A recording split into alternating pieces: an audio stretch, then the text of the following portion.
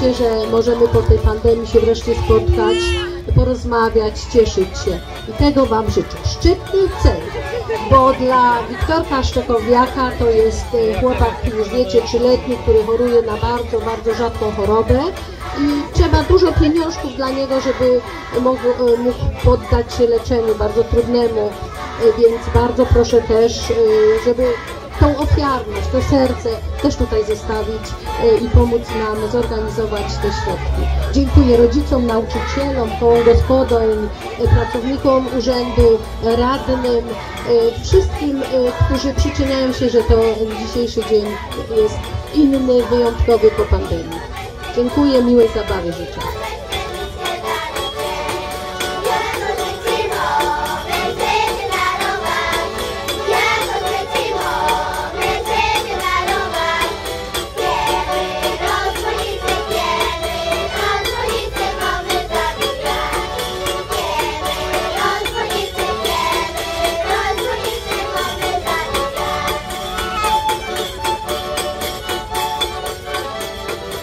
Kochani, mamy dzisiaj Dzień Dziecka w gminie Leśnia. Cieszymy się e, tym, że po takim długim okresie e, w izolacji możemy się spotkać, radować, bawić, cieszyć. Mamy wspaniałe, szczęśliwe dzieci.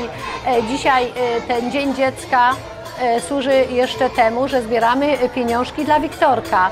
E, Wiktorek jest dzieckiem, który w Węgierskiej Górce mieszka, e, musi podjąć leczenie, które kosztuje 9 milionów. Pomóżmy podczas tej całej imprezy, zabawy, pomóżmy od serca. To jest bardzo edukujące, jeżeli dzieci widzą, że to ma wielki cel. e, Ratunek dla Wiktora.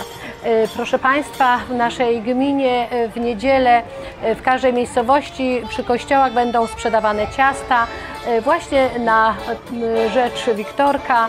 Środki będą przekazane rodzicom. Pomóżmy, pokażmy, że możemy. Gmina Leśnia, wspaniali ludzie, angażują się koła gospodyń, wszyscy mieszkańcy, nauczyciele, radni, strażacy, m, pracownicy Urzędu Gminy, po to, żeby pomóc Wiktorkowi. Jeszcze raz, się pomaga, cieszmy się, radujmy i dziękuję za wszelką pomoc.